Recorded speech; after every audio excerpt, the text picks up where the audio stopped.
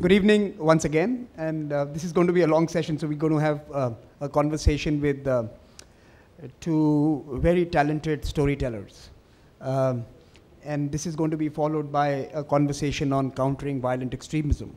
Now, um, yesterday when we opened uh, CyFy, um, I had asked you to um, uh, spare some moments to think about those who had been um, brutally and senselessly gunned down in Las Vegas. Uh, one of the participants uh, informed me, and I have not been reading newspapers over the last two days. Uh, I'm sorry for that, but I was told that a Dalit man was beaten to death uh, in India, and it was uh, in the newspapers this morning, and I, it had escaped my attention.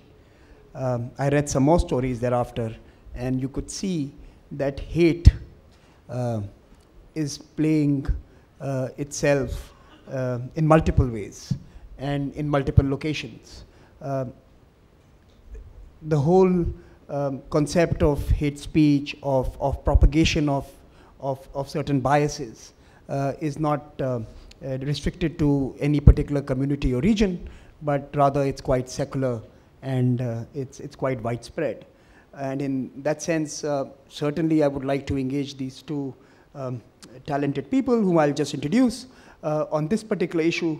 But I would also like to take this uh, opportunity to discuss with them the larger issues around creative content and the online space, the digital world and creativity. Uh, what motivates them? Uh, what do we expect from the sector going ahead? What is the role of government and regulators?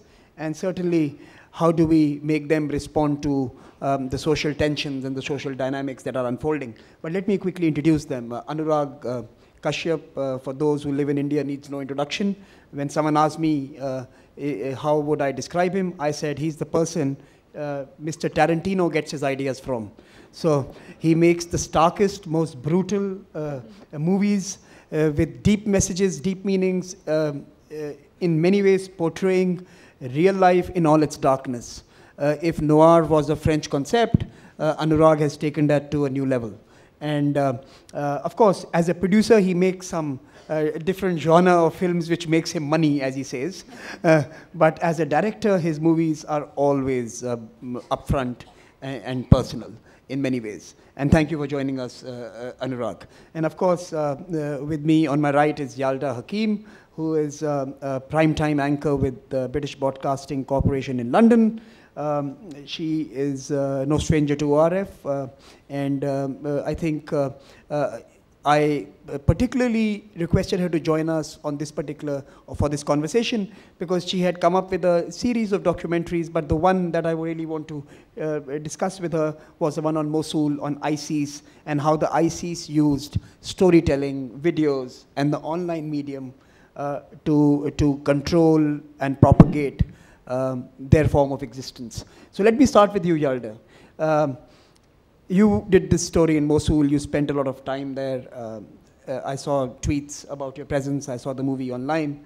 Uh, but what was interesting for me was to, to, in fact, what I would like you to do is share with uh, the audience here um, what you learned about the means and methods of communication, of aggregation, and of propagation of the ISIS way of life in Mosul, and uh, how do you see that changing when the physical territory it controls is no longer there?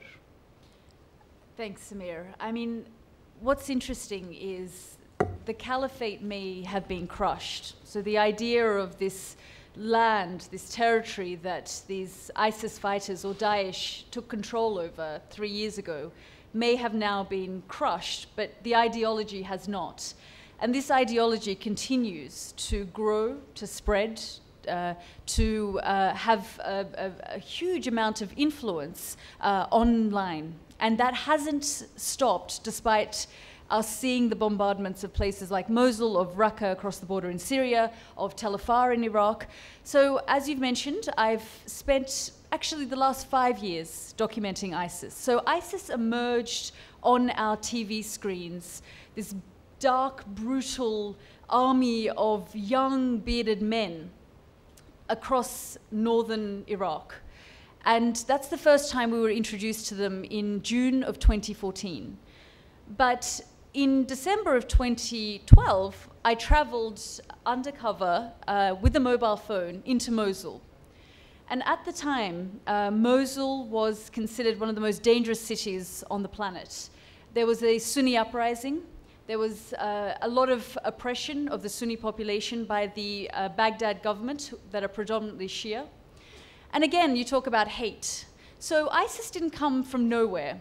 ISIS was welcomed by a lot of Sunni tribesmen.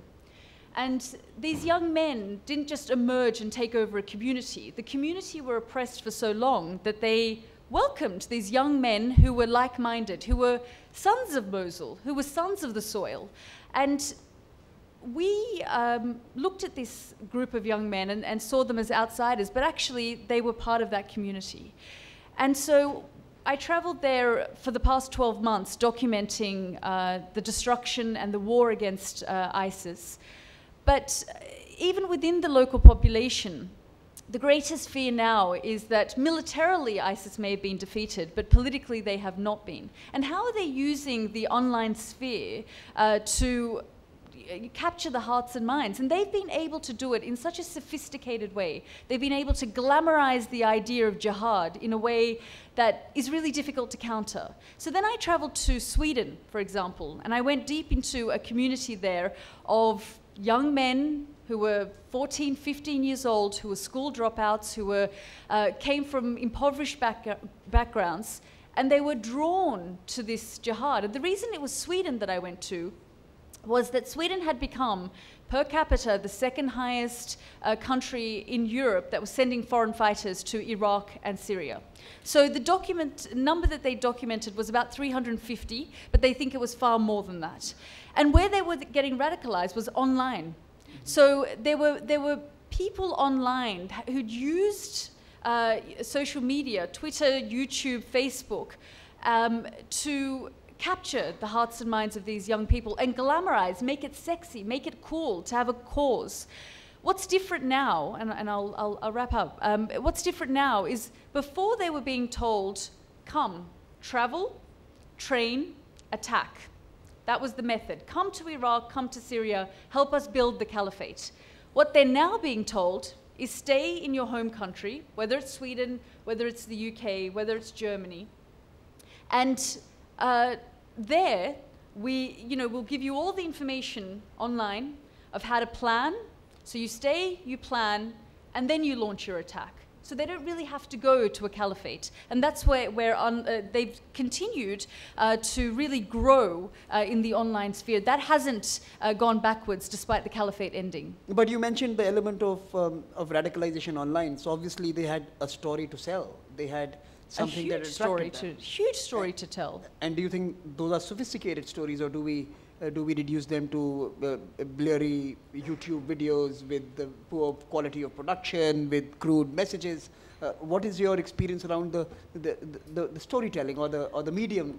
The narrative that we initially saw was, my God, these very high quality, high tech, uh, you know, very well produced videos of beheadings of messages of the caliphate, messages of come, fight, serve. So there were videos of ISIS fighters helping Syrian civilians, building in the community. When the governments, for example, were killing, uh, the ISIS fighters were supporting, helping. Hmm. Uh, so they were showing these, these propaganda videos that were very high quality, uh, uh, you know, to, to draw and attract people and to say the Western world that you're in or the governments that you support in Syria and Iraq are hurting the population, but ISIS are selling this message of supporting the population they were able to draw in a lot of young girls, for example, jihadi brides, uh, with these young men, uh, you know, really um, manipulating the minds of 16, 17 year old girls who would turn on their families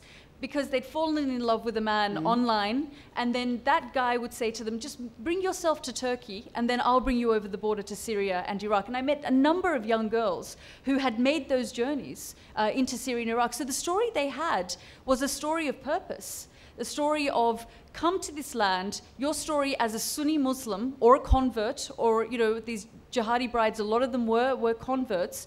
There is, there is greater good here.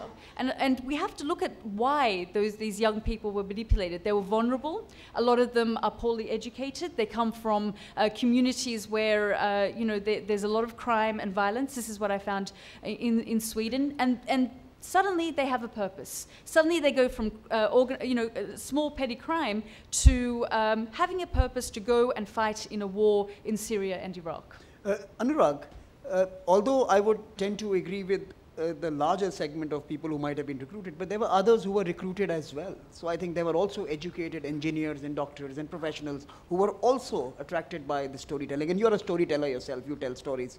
In many ways, you also have uh, deployed the stark violence and, and, and the guttural, guttural portrayal of reality to, to, to convey messages.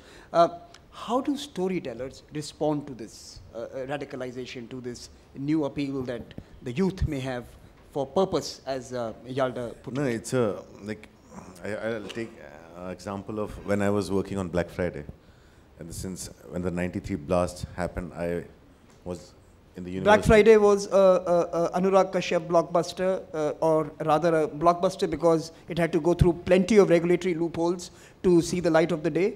It was about the terror terror blasts in Bombay, not the 2008 attacks, but the ones in, in- 1993, in, yeah. in the 1993 attack. So during the 1993 attack, I did not have a perspective on the blast because the newspapers were obsessed with Sanjay Dutt's story. So every day you would read more about Sanjay Dutt than the realities of the investigation. So when I got the manuscript of the unpublished book, which was much larger than the one that got out, and I also got a lot of material that was not used in the book, like Sebastian's voices and the books that the, the he had collated a lot of material.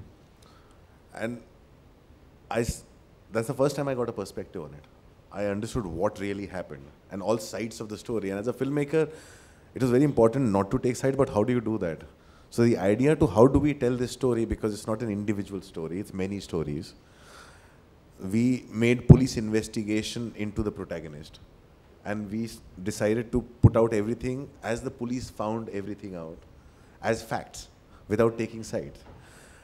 And then we came to that place where we had to shoot the portion of the arrests, when police was going about arresting everyone.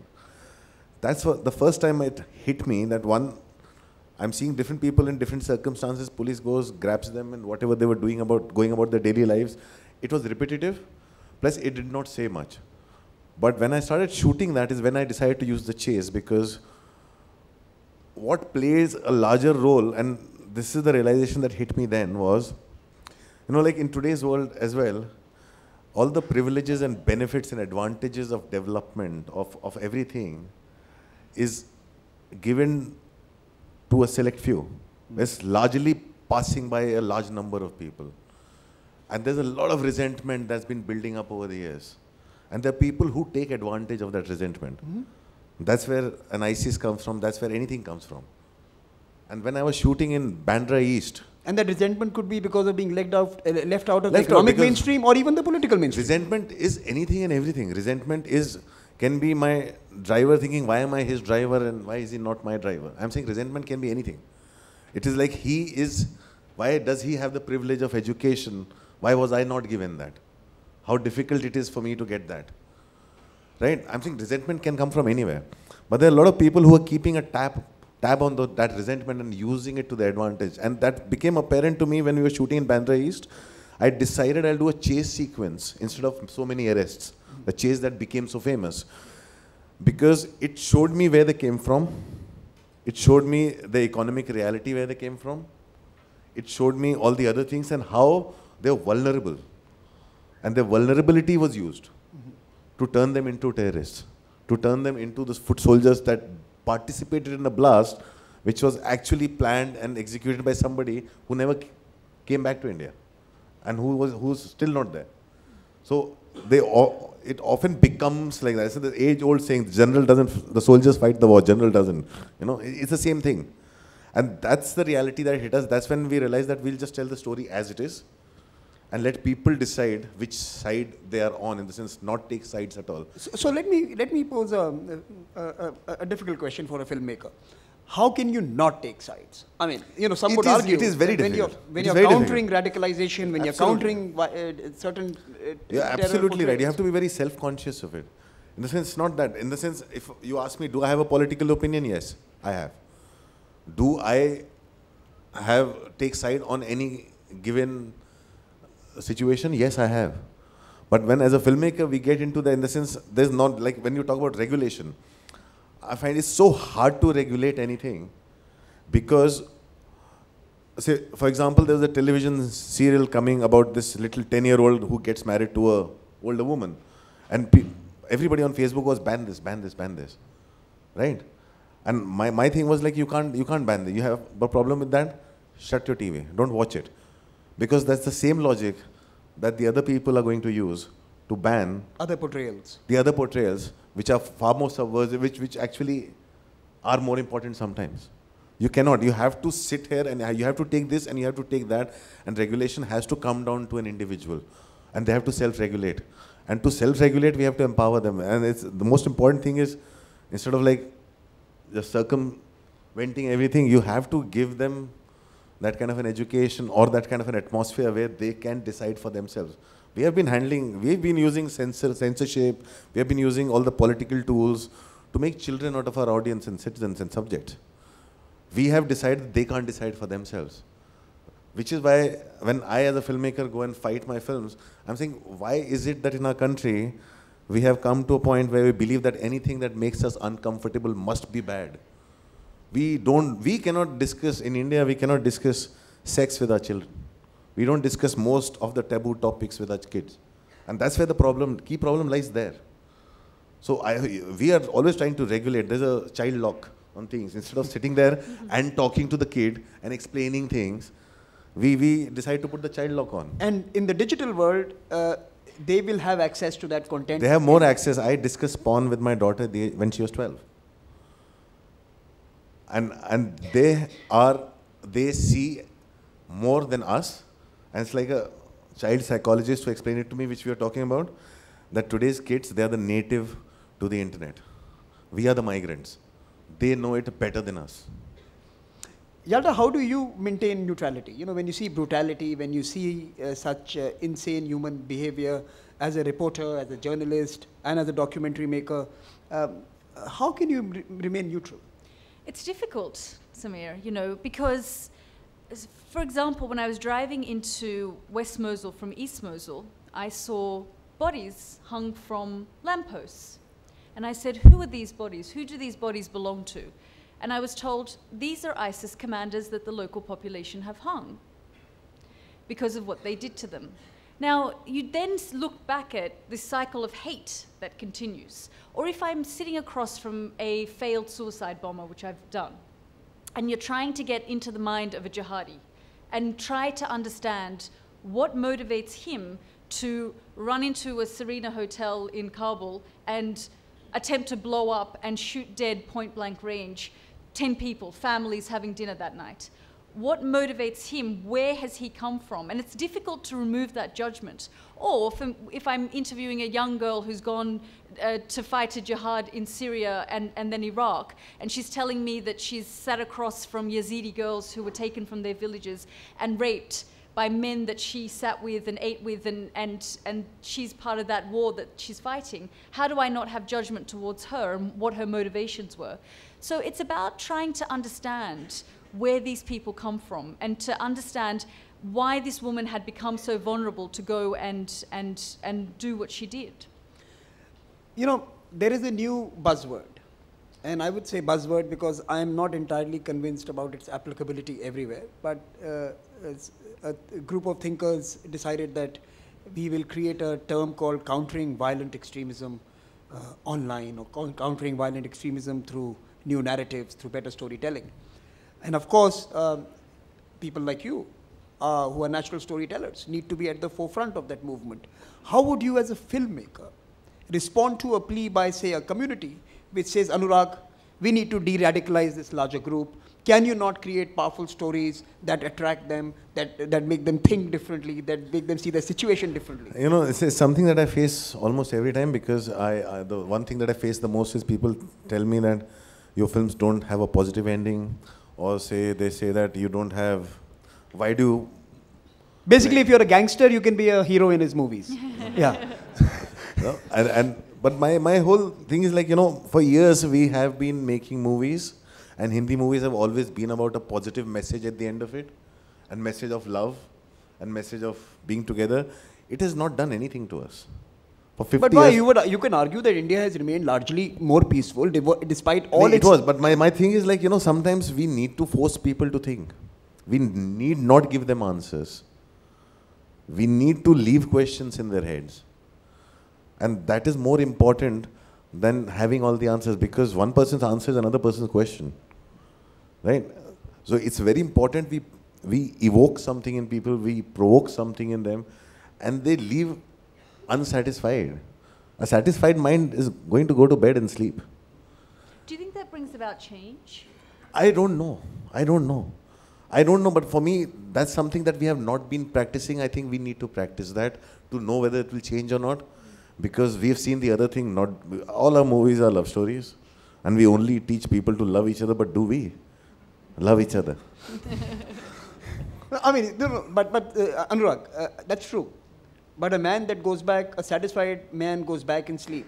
That's better than a satis- unsatisfied man going to the room on the I'm saying, 32nd but- but- floor of Mandalay Bay. and Yeah, but. I'm saying uh, in today's world, I, I, I, can't shut my eye to things that is going on around and just go to sleep. It is, it is, I, I can't do do you that. not wonder sometimes that because you highlight the angst, sometimes the pain, and maybe because many people now start identifying with it, you actually start, in a way, provoking those people to change their state? And do you think that uh, that dark cinema, as we call it, can sometimes uh, be a basis for actually fueling some of the more basic instincts? No, it is not that, you know, in the sense, on one side, yes, I always argue that something that's kind of uncomfortable to watch actually has a positive effect. It also does have negative effects in very select few. People who are like, you know, already deemed to go there, in the sense there are minds who are like very, very dark and very depraved. Know, they will find inspiration in anything. Correct. But I'm saying largely, largely, if you see children, the impressionable minds will find will find a lot of glamour in a hero jumping off 20 second floors and flying. And a lot of people saw kids saw Shaktiman and tried to be Shaktiman. It was glamorous. It was simple. It was not very complicated. But people tend to emulate that something that smells of heroism hmm. rather than something that's far more real. And can I pick up Yeah, on yeah. that? Because that's the tool that ISIS used. They glamorized, they made cool, ma- they made fighting a war cool. They, you come here, you can have all these women, you can have a better life in the hereafter, you know, and, and exactly what you've just said about the, the hero or the, the, the you know, the, the kind of joining a club where you're, you're part of this kind of heroism, that's exactly what ISIS captured. No, but as now, let me ask you an institutional question. You see that um, you're perhaps BBC, uh, and, and certainly uh, in India we have been fed a lot of BBC fare. Um, uh, uh, Is that a good thing or I, I mean, again, like Anurag, I won't take a position on this. But, uh, Yeah, but uh, grow- growing up, we said BBC has said it man, means like it it's means the truth. That's right. So, so you know, BBC is also perhaps the most boring news channel in the world, right? like, uh, I mean, let's be honest here. You have the largest uh, uh, uh, cadre of reporters in every capital, Yeah. and yet I don't think you come up with the number of breaking news that uh, a normal Hindi channel with uh, a every presence in- nine seconds. Right, that's right. Yeah. So, uh, as BBC, do you believe in the power of positive storytelling? And, and do you think there is, I mean, Anurag says no, but let me ask you, do you think positive stories can change the discourse? I do think that, absolutely. I, my uh, brief and remit is grim stories. So if someone is leaving a place, I go in. You know, if, if, if someone's being killed and everybody else is rushing out, my brief is to enter that place. However, I think it's really important for us to counter those narratives at a time where communities feel targeted. So we spoke today about the attack in Las Vegas, for example. You know, I think it's the role of the media of how we package and sell these messages and how careful we are. So you talk about the BBC failing to break news, for example, but as Anurag said, as soon as we say it, it becomes fact. Now, if we use terms for a white man attacking a group of people as the lone wolf who, uh, you know, maybe have been Some issues. radicalized or, yes, has some issues, mental health issues or whatever.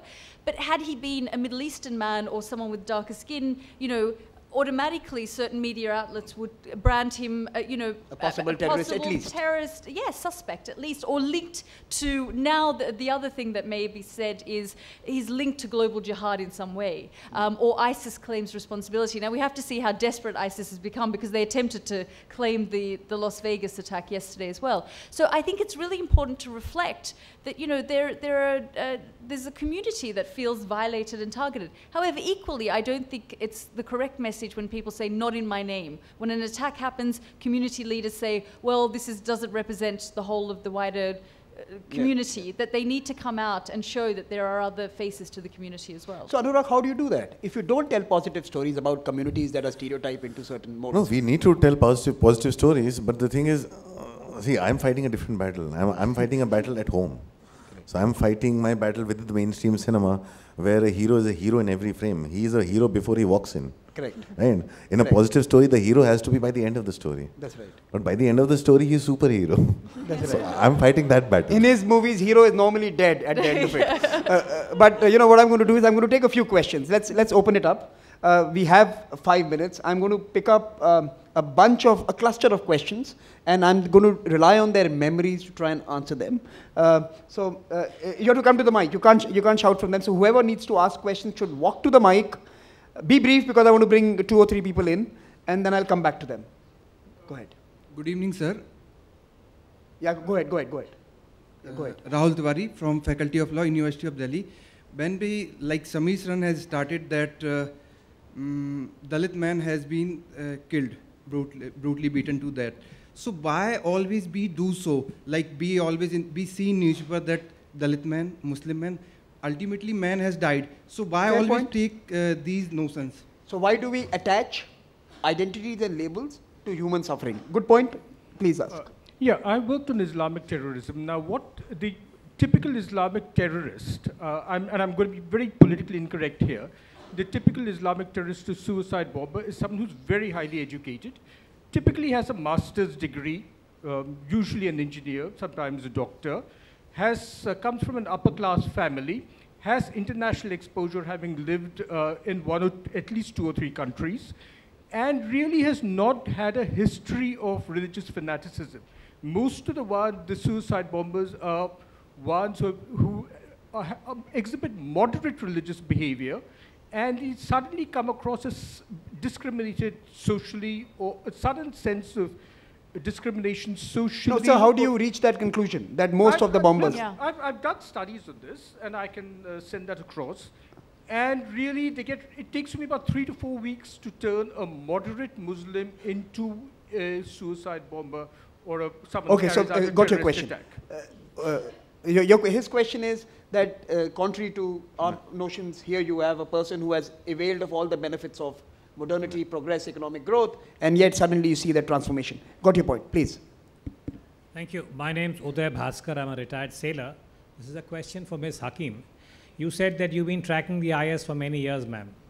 So the specific question is that whatever you had noticed in terms of the young men being motivated by the kind of cyber and digital outreach that had taken place, was there any institutional attempt to do exactly what Samir had mentioned, which is to have a counter narrative, to say Islam is not about the afterlife and etc. etc. but there is a different kind of message. Because I'm a security analyst Yeah. and I'm aware of some pilot projects which go back to Afghanistan post 9 11. Mm. And I do recall that some Western, shall we say, institutions were encouraged to say that all Taliban are not what the Taliban were thought of in October of 2001. And at that time, if I may say so to this audience, 2001 was very different. It was a different cyber world. Very few people knew where Afghanistan was in the first place. And when we try to draw attention to the story of, say, Khan Abdul Ghaffar Khan, the Frontier Gandhi, etc., he was also very much the same stock, the same ethnic stock. It was complete surprise. So my query to you is, you reported these stories, these regions. Has there been any institutional attempt to tell a different story, and did it have any impact? Uh, and the final question this evening. Uh, my question goes to uh, the reporter from BBC.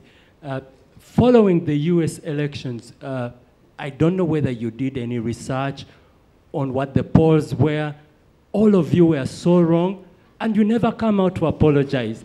When will you come out to say, we, our research is wrong, we need to apologize? Thank you. you, you know, to answer that, that question, I did actually um, speak to someone from uh, the editorial board of the New York Times, and I went and covered the Muslim ban, for example. I went into Trump heartland in Pennsylvania, and I spoke to many of his supporters who said to me, this is what he campaigned. So he's not doing anything against the campaign. How, why did we get the numbers wrong in the polling when people say 86% of you know people say that Hillary Clinton will win and, and uh, Donald Trump didn't have uh, a, a, chance? I think the problem uh, was at the time that people were speaking to each other. So the New York Times subscribers and people that were polling, they weren't going out and speaking. Yes.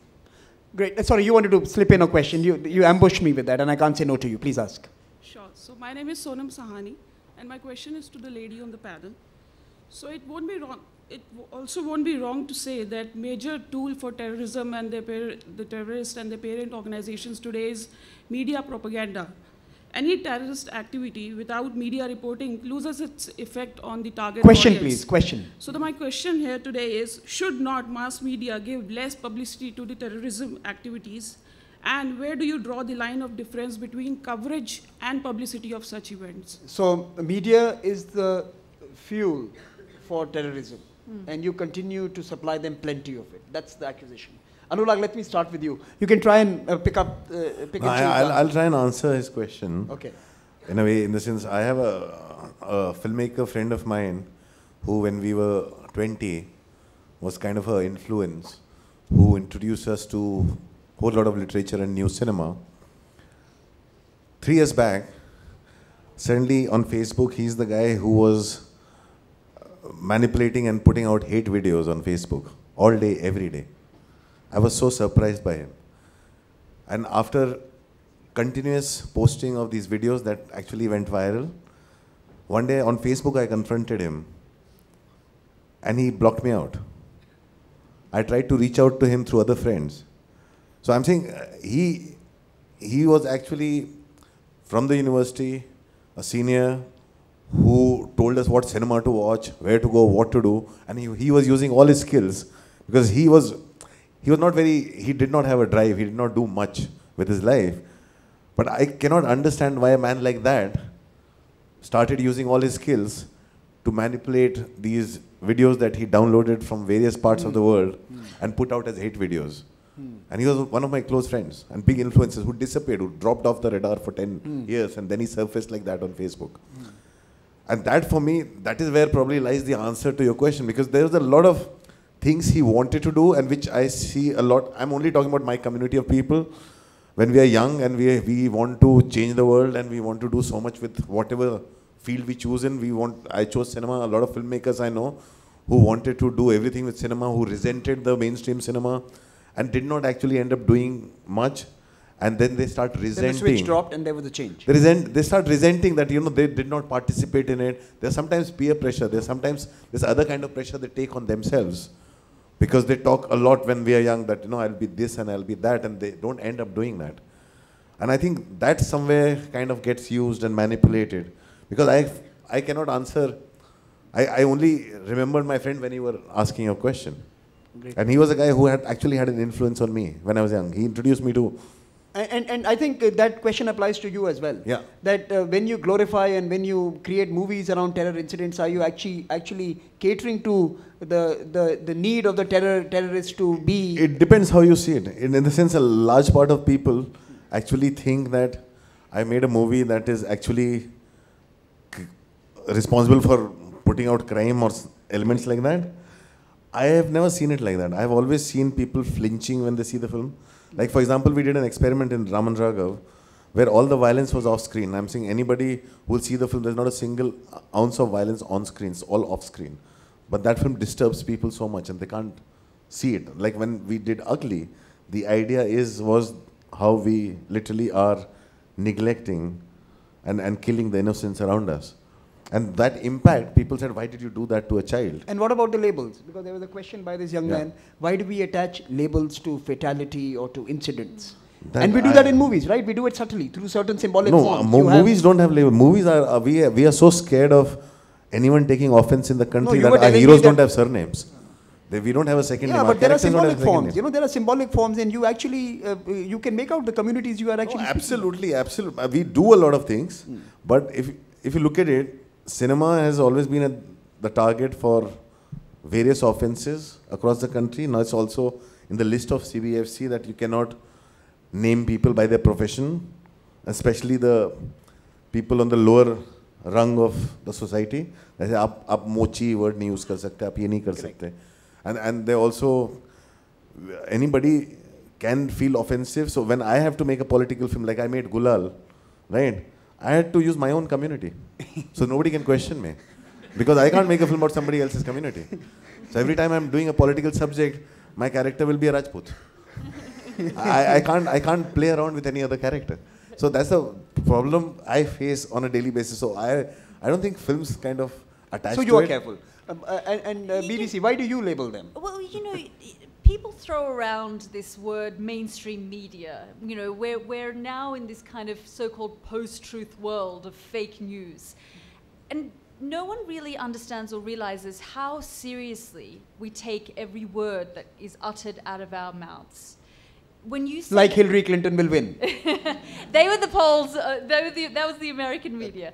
But you know, uh, when when you say when you say things like, um, you know, uh, why do we label, and why is the BBC boring, and why doesn't it break news? Because when we say it, it becomes fact. So we are so careful before we release the names of people, before we start profiling. And, and, and I know people throw this word mainstream media and point the finger, but actually, we, we take it very seriously and we do take it upon ourselves to hold that responsibility of the impact of what we say on, on the masses.